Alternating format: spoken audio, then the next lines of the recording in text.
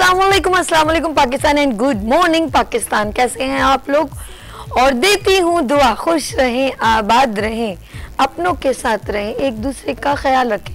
और ख़ास तौर पे अपने वालदेन का, जो अल्लाह पाक का बहुत ही कीमती तोहफा इस दुआ के साथ मैं अपने morning show good morning with सभी का आगाज़ करती हूँ। और एज़ यूजल मैं आपके साथ एक मोटिवेशनल मैसेज भी शेयर करती हूँ।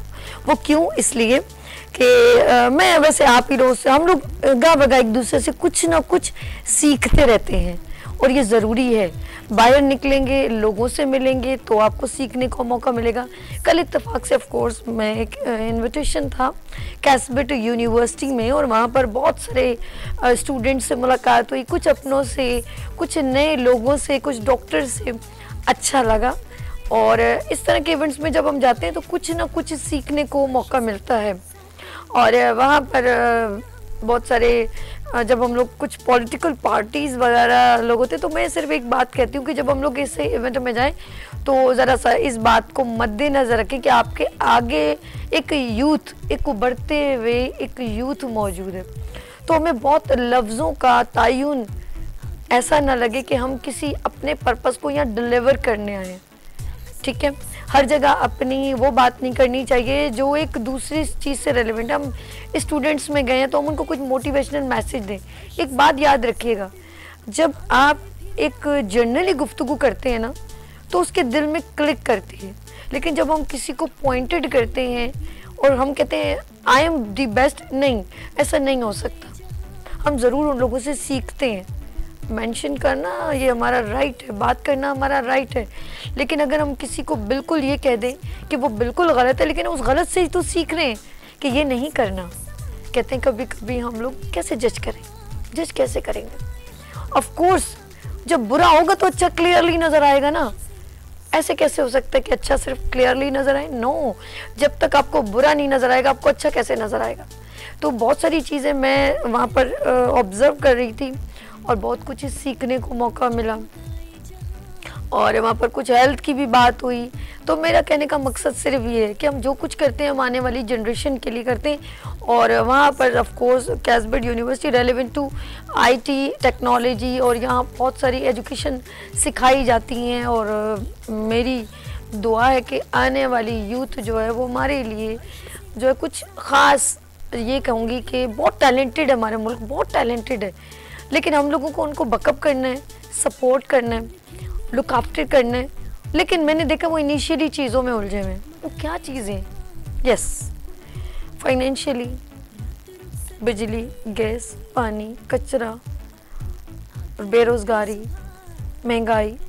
बस हम उन जमेलों में से उनको इतना बोझ डाला हुआ है कि वो बेचारे कुछ सोच ही नहीं पाते, वो क्रिएट नहीं कर पाते।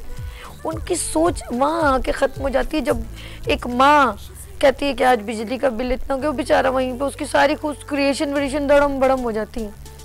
जब उसकी वाइफ उसको कहती है, आज ये बच्चों का बिल, ये वो वो तो उसकी सारी क्रिएशन खत्म हो जाती है। फिर वो अपने बच्चों को पता क्या तरबियत देता है? बेटा पढ़ लिख के डॉक्टर बनने पढ़ लिख के इंजीनियर बनने उसकी कहीं अच्छी तरबियत नहीं होती, वो अपने मुल्क के लिए नहीं सोचता, उसको कुछ कंसर्न नहीं रहता, क्योंकि हम डिलीवर गलत कर रहे हैं। ये कौन सही करेगा? कौन लोग आएँगे? I don't know question mark आज हम बात करेंगे ऑफ़ कोर्स ये तो मेरा इंट्रो था। समझने वाले समझ गए। लेट्स सी मैं बात करूँगी हमारे नाजीन से और मैं अपने गेस्ट की जानब चलूँगी।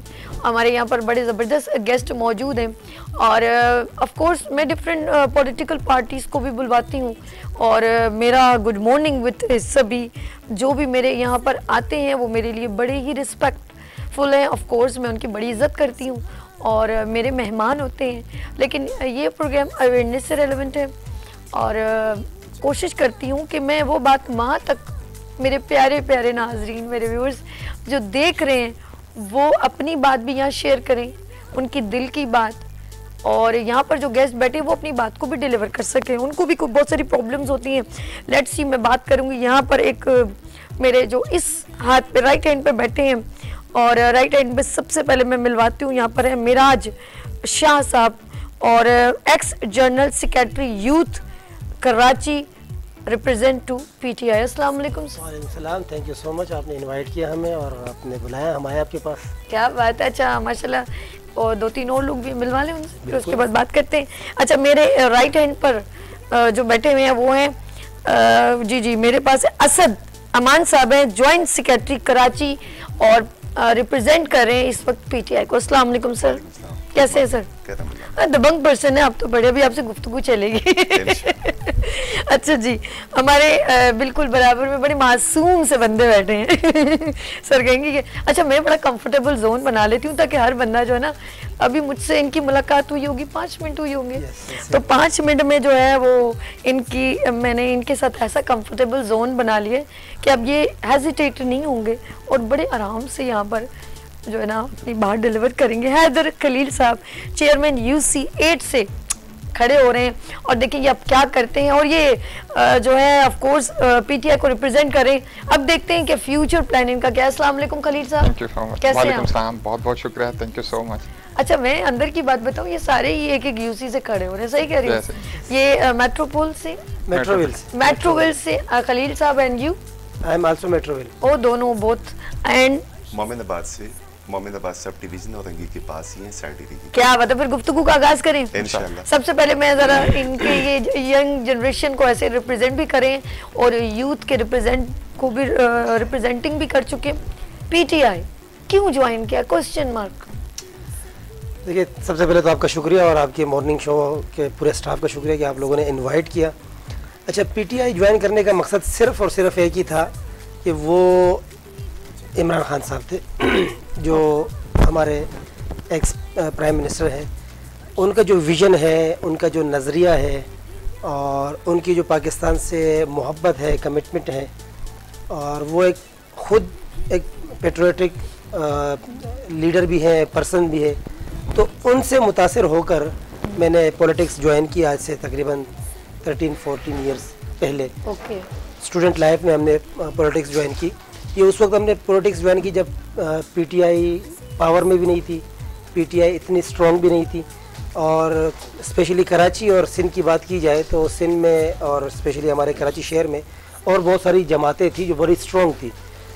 मगर हमने उस जमात को चुना मुश्किल रास्ते को चुना क्योंकि खान साहब भी पिछले 26 सालों से इस मुश्किल रास्ते पर स्ट्रगल कर रहे हैं बेशक और कंटिन्यूसली स्ट्रगल कर रहे हैं।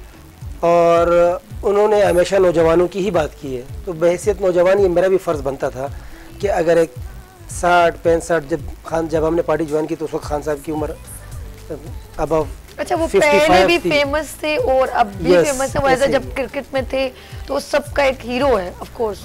अच्छा ये सिर्फ़ हमारे पाकिस्तान में नहीं पूरे वर्ल्ड में चले जाएँ उनकी तस्वीर दिखाएँ ये कौन है? तो वो फ़ौरन कहेगा इमरान खान। तो ये हमारे लिए बड़ा प्राउड की बात है ऐसे कि नहीं अच्छा लगता है। जी खली साहब से बात करूँगी आप ऑफ़ कोर्स मुझे नहीं अभी अभी मुझे सरप्राइज़ इन्होंने कहा कि हम खड़े हो रहे हैं इलेक्शन में। अच्छा आज हमने स्पेशली यूथ को रिप्रेजेंट करते हुए बात करनी थी लेकिन अब मेरी बात में यूथ के साथ साथ यूथ की प्रॉब्लम्स भी आती हैं और एक आम पर्सन की भी प्रॉब्लम्स आती हैं। सर आप बताइएगा ऑफ़ कोर्स आप इलेक्शन में भी खड़े हो रहे हैं नुमाइंदा प्रेजेंट कर रहे हैं एज अ नुमाइंदगी कर रहे हैं पीटीआई को। तो आपका आगे क्या लाए अमल? है देखो आपने इंट्रोडक्शन में कुछ कुछ चीज़ों की निशानदेही खुद ही कर ली जी। कि हमारे सबसे ज़्यादा प्रॉब्लम है कि भाई एजुकेशन का बहुत बड़ा मसला है। ठीक है। उस पर हमने काफ़ी सारा वर्क करना है। इसके अलावा जो हमारे छोटे छोटे मसाइल है जैसे सेवरेज का हो गया जो बल्दियाती इलेक्शन होता है बेसिकली इसके लिए होते हैं जो हमारे छोटे छोटे छोटे मसाइल है हमें M P as M N S की तरफ़ देखना ना पड़े। वो छोटे लेवल पे ही जो है चेयरमैन वाइस चेयरमैन और काउंसलर जो है ना ये मसाइल हल कर लेते हैं। तो इसलिए इनका होना बहुत ज़्यादा ज़रूरी है। लेकिन हमारी बदकस्मती ये है कि सिंध गवर्नमेंट जो है आ, बहुत मुश्किल से ये बल्दियाती इलेक्शन करवाती है। आ, इनका रिकॉर्ड ही अगर आप पिछले रिकॉर्ड देख ले तो उन्होंने एक दो बार ही इलेक्शन करवाए। उसके अलावा जो है जितनी भी इलेक्शन हुए बल्दियाती वो सारे इस्टेब्लिशमेंट या उन्होंने करवाए जब आ, आ, फौज की हुकूमत में। तो और कराची जैसे बड़े मेट्रोपोलिटन शहर हैं तो मेरे ख्याल से उसमें तो बल्दियाती बहुत ज़्यादा ज़रूरी है इनकी नुमाइंदगी जो। है नुमाइंदे बहुत ज़रूरी है।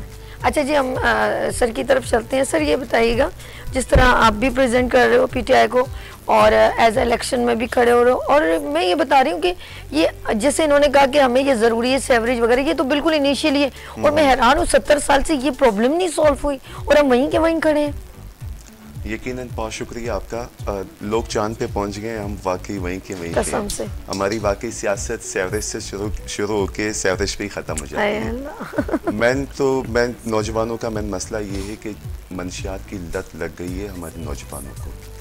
हमारी स्पेशल मंशियात हमारे ग्राउंड वीरान हो गए मंशियात वाले इतने मज़बूत हो गए हैं कि हमारी नौजवान नस्ल तबाह हो रही है। बेसिकली हमारा मैन आने का मकसद है, आपने यूथ की बात की, हम उस पार्टी को रिप्रेजेंट करते हैं जिसमें तकरीबन 60-70 परसेंट यूथ हैं। और इस वक्त नुमाइंदगी भी हमें दी गई है तकरीबन 60 परसेंट कराची में नौजवानों को। एज ए चेयरमैन मैं मौजूद हूँ एज ए वाइस चेयरमैन मिराशा है। चेयरमैन ये हैं, बाकी और भी सारे नौजवान हैं। ये पाकिस्तान तहरीक इंसाफ की खूबसूरती है, नौजवानों को आगे लाना चाहती है और हमारा इन ताला मिशन ही है। हम सियासत में आए, सियासत इबादत समझ के आए। हमें मालूम है कि पाकिस्तान तहरीक इंसाफ में आने का मकसद ये है कि हमें यहाँ प्लॉट नहीं मिलेगा, हमें यहाँ रक्षा नहीं मिलेगा, हमें यहाँ करप्शन करने का मौका नहीं मिलेगा। करप्शन करेंगे तो यकीनन हमारा एक ही मुकाम होगा, वो जेल होगा या पार्टी से निकालेंगे। सो ये पाकिस्तान तहरीक इंसाफ में मैन आने का मकसद ये है और इन ताला हम यूथ के लिए बहुत से हमारे प्रोग्राम है जैसे यूथ नौजवान प्रोग्राम के हवाले से। और भी बहुत से मामलात हैं। सो यकीनन सियासत में आने का मेन मकसद यही है कि हम अपनी यूथ को और स्पेशल अपनी कौम को आगे बढ़ा जाए। बिल्कुल असद साहब ने बहुत अच्छी तरीके से ओपनली बता दिया कि आने वाली यूथ के लिए हम ऑफ़ कोर्स सोचे। और एक एक चीज़ मैंने देखी कि इमरान खान साहब नो कॉम्प्रोमाइज़ और झुकेंगे नहीं। कटेंगे नहीं कुछ भी है बहुत कुछ बोलते हैं। मेरे पास वो अल्फाज नहीं है कहने के क्योंकि वो जब बोलने लगते हैं ऑफ़ कोर्स एक बंदे के अंदर की फीलिंग होती है। अच्छा मुझे ये बताओ शाह के ऑफ़ कोर्स यूथ को आप रिप्रेजेंट भी कर रहे हो और नौजवान स्कीम तो मुझे भी मालूम है। ये एक आम अ, सिर्फ़ नौजवान की बात पहुँचती है। लाइक क्योंकि हम लोग कुछ चीज़ होती है यार ये पता नहीं बहुत हमसे दूर है। इसमें फीमेल मेल भी आती है तो आगे सिर्फ़ यहाँ तक रहने कि कुछ और क्रिएशन भी आपके अंदर डिस्कस होती है। अच्छा एक और चीज़ है। मैं असद साहब आप भी इसमें ज़रा मुझे इन्वॉल्व हो जाइएगा। खलील साहब से भी रिक्वेस्ट करूँगी। ठीक है आइडियाज़ क्रिएट होते हैं। जैसे आपने कहा यार अगर ऑफ़ मैं आ गया तो मैं अपने इस एरिए को गुलदस्ता बना दूँगा। जैसे बेनज़ीर साहबा ने हमारी ऑफ़ कोर्स पाकिस्तान की वन प्राइम मिनिस्टर रह- थी वो। उन्होंने कहा कि मैं लियारी को पेरिस बना दूँगी मेरे कानों में आवाज़ आई थी किसी वक्त। तो आपके जहन में होता है यार मैं अपने साइड एरिया को या मेट्रोपोल को या जो भी जो भी आप लोगों की जगह है, यार उसको मैं गुलदस्ता सा बना दूँगा, ये मेरी प्रेमिसेस आ जाएगी। ऐसी कुछ क्रिएशन चली आपके दिमाग में? आप पेरिस की बात कर रहे हैं, यकीनन उन्होंने अभी लाड़काने की बात की कि वो भी पेरिस बना हुआ है। अभी बारिशों ने सब बांडा फोड़ दिया है, इससे पहले भी सब कुछ है। मैं ये नहीं कहता हूँ कि बाकी हम पाकिस्तान को या अपने एरिया को साइड एरिया या मेट्रोविल या मोमिनाबाद को हम पेरिस बनाएँगे। यकीनन हम इसको पाकिस्तान बनाएँगे। एक वो पाकिस्तान, वो कराची जो पूरे मुल्क को चलाता है। यहाँ के मेन मसाइल सेवरेज से लेके पार्क तक, पार्क से लेके हमारे पास हॉस्पिटल तक, हॉस्पिटल से लेके हमारे पास ऐसे मामलात हैं नौजवान नौकरियों तक, यकीन मानो कि लोगों के पास जब नौकरी नहीं होगी, उनके पास क्या ऑप्शन बचता है? दो ऑप्शन उनके पास बचते हैं। या तो वाकई खुदकुशी कर लें या डकैती कर लें।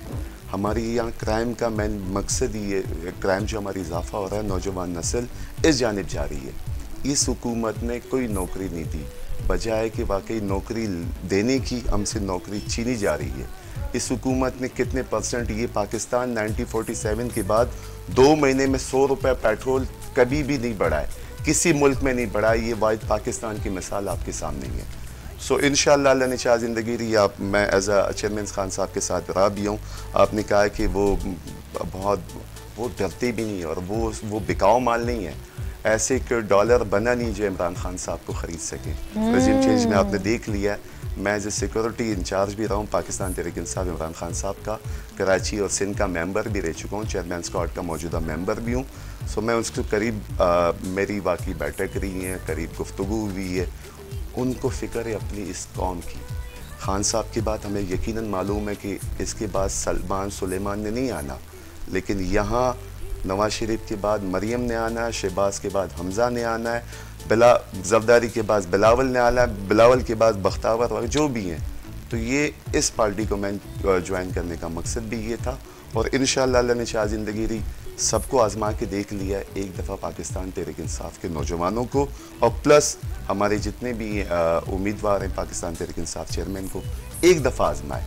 इन चोरों को, इन डाकुओं को आप आजमाते हुए आएँ। हमने हम यकीनन ये नहीं कहते हैं कि हम बिल्कुल पेरिस बना देंगे। लेकिन हम इनसे इंशाल्लाह बेहतर काम करके दिखाएँगे। ये इंशाल्लाह इस कौम से और इस हाँ आपसे हमारा वादा है। इंशाल्लाह इंशाल्लाह। अच्छा करे जो भी हुकूमत आए अच्छा हमारे कराची में क्या समझते हैं कि अगर पूरी ऑफ़ कोर्स पिछले कई सालों से एक सिंध गवर्नमेंट ने ऑफ़ कोर्स स्ट्रॉन्ग लेवल पर अपना इंडोर्स किया हुआ है और अभी तक किसी ने भी ये अपॉर्चुनिटी ले नहीं पाया, इतने सालों में। तीस साल तो हो गए हैं, मैं भी देख रही हूँ। तो आप क्या समझ सॉरी आप क्या समझते हैं कि अगर आपको ये अपॉर्चुनिटी मिलेगी आपका अक्सरियत में जो है वो मेंशन हो जाए कि पीटीआई अक्सरियत में विन कर चुकी है तो फिर आपका डिसीज़न क्या होगा? देखिए हमारी मेन चीज़ यहाँ एजुकेशन के हिसाब से होगा क्योंकि एजुकेशन की कमी है। अब ये भुट्टो एक अजीम लीडर था लेकिन अभी उसके नाम पे जो चोर डाकू यहाँ बैठे हैं जिन्होंने इस सूबे को ये पॉजिटिविटी है कि एक ऑपोजिशन भी अप्रिशिएट कर रहे हैं भुट्टो। बिल्कुल इसमें कोई इसमें कोई मुझे बेनजीर बिल्कुल बिल्कुल। वो भी बिल्कुल मोहतरमा वाकई काबिल वो। लेकिन जो मौजूदा लीडरशिप है ये चोरों का टोला है। मिस्टर टेन परसेंट को कौन नहीं जानता है? मुझे ताजुब उस जमातों पे होता है मुझे ताजुब उस कराम पे होता है जो अपने आप को मजहबी पार्टी कहते हैं अपने आप को कराम कहते हैं। किसको नहीं पता कि मिस्टर टेन परसेंट कौन है? लेकिन उसके बावजूद भी उनसे जुड़े हुए हैं। मैं अगर गलत बंदे के साथ बैठूं तो मैं गलत कहलाऊँगा। लेकिन। मेरे मुतलिक सौ परसेंट किसी को यकीन है कि ये शख्स गलत है और वो मेरे साथ बैठे या मेरे साथ जो भी हम हुकूमत करें तो यकीन वो मेरे साथ फिफ्टी परसेंट बिल्कुल इस गुना में शरीक है। चलो, ये बात आ गई।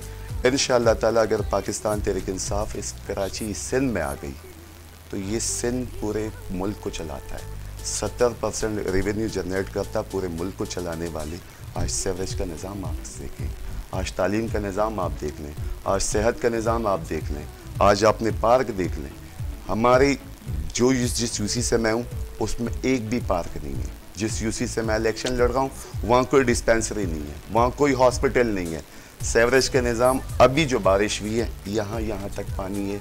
लोगों के घरों में पानी गया है। पूरी रात लोग सो नहीं सके।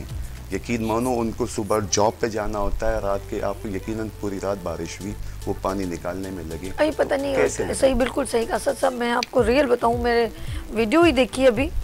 पता नहीं वो कौन सी लाड़काना से आगे कोई आबादी है उसमें ज़रा पता लोगों को छोटे छोटे घर सस्ते वस्ते होंगे। अब वो कह रहे हैं हम इतना पूरे उस बंदे ने ड्रोन से बनाया है सारा आबादी पूरी आधी आधी दीवारें डूबी हुई हैं। और लोग जो है ना वो तख्तों के ऊपर तैर तैर के वो क्रॉस कर रहे हैं। और और इतने बुरे हालात हैं कि वो लोग अपनी जगहों को मतलब जाए पता फिर वो आ, हमारी फोर्सेस बेचारी वो उनको निकाल रही थी। तो वो रो रहे थे कहते हैं हम लोग कहाँ जाएँ? हम हमें तो बस यहाँ पर जो है किराए पे रहते हैं कुछ पाँच सौ रुपये रेंट होगा। किसी इस तरह यानी वो इस तरह की लेवल की वो आबादी थी कि वो रो रही थी बुढ़िया कि मैं कहाँ जाऊँ और मैं मतलब मुझे कौन मेरा ख्याल करेगा? मेरा कोई नहीं है। तो मेरा बड़ा दिल खफा हो रहा था। मैं कहती यार, ये लोग कैसे लोग? कहते हम लोगों को बोलते हैं ऐसे छोड़ के कहाँ जाए? तो क्वेश्चन मार्क वेयर कहाँ जाए यार? मैं यही तो आपसे कहना चाह रहा हूँ, इस नाहिल गवर्नमेंट ने बल्दियाती इलेक्शन जो 24 जुलाई को होने वाला था, वो मुलतवी किया। इस पे कि बारिशें हो रही है, लेकिन आज तक 16 साल से 15 साल से आपकी हुकूमत है। एक दिन भी आपने बाकी इस शहर के लिए कुछ सोचा है सेवरेज के लिए कुछ सोचा है? आज लोगों के घरों में अगर पानी दाखिल हो रहा है तो किसकी वजह से? आज वाकई ये पूरे सड़कें तबाह हैं। किसकी वजह से? आज तालीम का निज़ाम ख़राब है या तालीम नहीं है? गवर्नमेंट स्कूल है, लेकिन उसमें घोड़े और गधे ये चीज़ें बंदी हुई है। किसकी वजह से? सो ये वाकई यकीनन ये पूछा जाएगा और लोगों में अवेयरनेस आ गई है। अब हर एक इंशाल्लाह सिंध का एक नौजवान, चाहे वो लाड़काना का हो, चाहे वो नवाब शाह का हो, चाहे किसी भी खैरपुर या महा उमरकोट का हो, वो नौजवान पूछेगी। और ये शूर मेरे कायद इमरान खान साहब ने बाकी लोगों को दिया है। अपने हक के लिए आवाज़ उठाएँ और इन ताला आने वाली हुकूमत पाकिस्तान तहरीक इंशाल्लाह। अच्छा मैं खलील साहब की तरफ़ चलती हूँ। खलील साहब ऑफ़ कोर्स जिस तरह सर ने बहुत डिटेल में जवाब दिया तो जैसे पार्क में मैंने अक्सर देखा, जो पार्क का हर बच्चों का हक है, वो गलियों में ही वरना क्रिकेट खेल रहे होते हैं। आप क्या सोचते हैं, पार्क के अलावा हम लोग क्या क्या फैसिलिटेशन माइंड में चल रही है कि हमारी हुकूमत में हम ये करेंगे? देखिए जी जितनी भी तरक्यात ममालिक में अगर आप उनके यहाँ नज़र दौड़ाएँ तो आपको सबसे ज़्यादा पार्क्स मिलेंगे और सबसे ज़्यादा ग्राउंड्स मिलेंगे। जहाँ ग्राउंड्स की तादाद ज़्यादा होगी, वहाँ हॉस्पिटल्स की तादाद कम होगी। ये पूरी दुनिया का ये उसूल है। अच्छा तो उसमें क्या होता है कि बाहर के ममालिक जो है, वो स्पोर्ट्स पे बहुत ज़्यादा इन्वेस्टमेंट कर रहे होते हैं। उसकी वजह कि जो स्पोर्ट्स में आप, एक तो ये कि आपको जो है, आपकी यूथ आ रही होती है, आपको, आपके पूरे मुल्क को रिप्रेजेंट कर रहे होते हैं। उसके साथ साथ आपका जो है, सेहत का मराकज़ भी कम हो जाते हैं। डेफिनेटली एक आदमी है, वो जब सुबह सवेरे उठता है, वो एक्सरसाइज कर रहा होता है क्रिकेट खेल रहा होता है फुटबॉल खेल रहा होता है टेनिस खेल रहा होता है तो एक तो ये कि वो अपना फ्यूचर भी बना रहा होता है और आगे जाके अपने मुल्क को भी रिप्रेजेंट कर रहा होता है। तो एक अच्छी एक एक्टिविटी हो जाती है। इसके साथ साथ जो पार्स की आपने बात की कि भाई पार्स के अलावा हमारे पास क्या है? हमारे पास सबसे अहम शोबा जो है वो तालीम का, एजुकेशन। बदकस्मती ये कि सिंध गवर्नमेंट बजट तो बहुत ज़्यादा रखती है, लेकिन वो हमें कहीं नज़र नहीं आ रहा होता। हालाँकि आप अगर देखें, पंजाब सबसे बड़ा सूबा है, वो एजुकेशन के हिसाब से हमसे आगे चला गया है। के पी के जो सबसे ज़्यादा जो है तबाहशुदा सूबा था हमारे सामने ही है। 2008 से लेकर 2013 में जो उनकी हालत हो गई थी आज अलहमदिल्ला से वो पाकिस्तान तरक इंसाफ की गवर्नमेंट में एजुकेशन में काफ़ी सारे इम्प्रूव कर चुके हैं। तो ये एक विजन होता है अगर आप किसी चीज़ को एक अच्छा सिम दे दे तो इनशाला वो बेहतर बेहतरी की तरफ़ जाता है क्या बात है ज़बरदस्त। अच्छा माशाल्लाह इन्होंने एक फ्यूचर प्लानिंग में कुछ अच्छी एक स्ट्रेटेजी बनाई है। पूरे कराची को एक अगर अगर अल्लाह पाक जो भी बेहतर करे, हम कुछ कह नहीं सकते। क्योंकि हर हुकूमत ने जिस तरह असद साहब ने कहा कि इन्होंने कई सालों से हुकूमत की है तो क्या समझते हैं कि हुकूमत में आके यूथ के लिए और मज़ीद कौन से प्रोजेक्ट डिस्प्ले करने देखिए, सबसे पहले तो विफाक में जो हमारी हुकूमत थी, आप उसी से अंदाज़ा लगा लें कि जब खान साहब की हुकूमत आई विफाक में तो उन्होंने बाकायदा यूथ के लिए स्कॉलरशिप के प्रोग्राम स्टार्ट करवाए।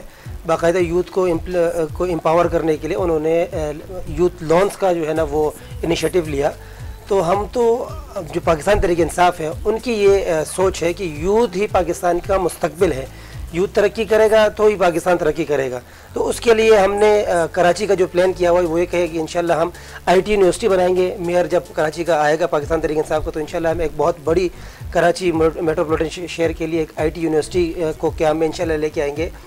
और सेहत के सहूलतों के साथ साथ हम नौजवानों को खेलों की तरफ़ लेके आएँगे। okay. और इंडोर गेम्स की तरफ़ भी लेके आएँगे आउटडोर गेम्स की तरफ़ भी लेके आएँगे। और मैं ये समझता हूँ कि सबसे ज़्यादा जो इस वक्त काम करने की ज़रूरत है यूथ के ऊपर वो आईटी सेक्टर में काम करने की ज़रूरत है। ताकि हम यूथ नौजवानों को एक तो आईटी सेक्टर की तरफ़ लेके आए खुद वो कमाए भी बिज़नेस भी दे। और दूसरी बात है कि मुल्क भी आईटी सेक्टर से ही चलेगा। वो आगे जॉब्स की अपॉर्चुनिटीज़ भी देंगी। तो हमने इनशाला हमारे पास बहुत अच्छा प्लान है। कि कराची का इंफ्रास्ट्रक्चर सबसे पहले हम कराची का इंफ्रास्ट्रक्चर बिल्कुल चेंज करेंगे कि आपको जो सड़कें मिलेंगी टूटी फूटी ये इंशाल्लाह नहीं मिलेंगी. ये जो हमारा मेयर आएगा हमारा बेसिक जो है कराची पर फोकस अच्छा, होगा. प्लान कर लिया प्लान कर लिया हमने अलहमदिल्ला हमने प्लान कर लिया है. हम कराची को इनशाला तरक्यात शहरों की फहरिस्त में लाकर खड़ा करेंगे. हमारा इरादा कराची में बुलेट ट्रेन चलाने का भी है इनशाला तो बड़ा अच्छा प्लान है हमारे पास, और उम्मीद है इनशाला कि जिस तरह हमने विफाक में जो काम किया, अब आपके सामने एहसास प्रोग्राम ये लोग हमने किस, किन के लिए किया? पाकिस्तानियों के लिए किया। जो पाकिस्तान तरीके इंसाफ का सबसे बड़ा कारनामा था खान साहब का, वो जो यूथ का, नौजवानों का, कि बिला सूद कर्जे नौजवानों को देना, और इतना बड़ा रिस्क नौजवानों के ऊपर लेना, कि नौजवानों को लाखों रुपये हुकूमत तरफ़ से देना, वो क्यों? वो इसलिए ताकि नौजवान अपने पाँव पर खड़ा हो सके। गुड वेरी गुड अच्छा मैं अभी मैं बॉडी ऐसी बात कर रही हूँ अभी असद साहब देखेगा कैसे घर जाएँगे अभी जरा देखिए असद साहब एक बात बताएँ। इमरान खान साहब कोई भी कोई भी कोई भी प्राइम मिनिस्टर आते स्टेज पे आते हैं चाहे वो पीपल्स पार्टी के हों चाहे वो अनून लीग के हों या कहीं के भी हों मैंने कभी नहीं देखा। उन्होंने कहा कि बाहर मुल्क में ये बेस्ट है और मैं चाहता हूँ। आई वॉन्ट टू बी कि यहाँ पर भी ये प्रेजेंट हो। इमरान खान हमेशा एक एग्ज़ाम्पल देते हैं। मैं as a leader as a party की बात कर रही हूँ, मैं मैं किसी को अपने वो नहीं करी, मैं अपने एहसास की बात नहीं करी। मैं एक डिलीवरी की बात करी हूँ देन से कि वहाँ पे ये होता है, मैं यहाँ चाहता हूँ। I want to be here so आप मुझे एक बात बताएँ कि मेरा जाना हुआ ऑफकोर्स सऊदिया में। ना मुझे कहीं वायरिंग नज़र आई, ना कहीं तार नज़र आई। ना कहीं मुझे सीवरेज की प्रॉब्लम नज़र आई। मैंने बहुत ट्रैवल किया मदीने से यहाँ तक और और फिर मैंने दुबई, मेरे भांजा है, मेरी बहन कनाडा में है। तो मतलब जो जो लोग मेरे इंट्रक्शन में हैं, कुछ मेरी फ्रेंड्स अभी लंदन में गई हैं तो मुझे ये नहीं समझ में आती कि वहाँ पर ये सब चीज़ें नहीं हैं। वो बकायदा भी देखो यार, सभी मतलब इज़्ज़त तंजिया। देखो ये देखो, इतनी बारिश हुई है, पानी कहीं नज़र नहीं आ रहा।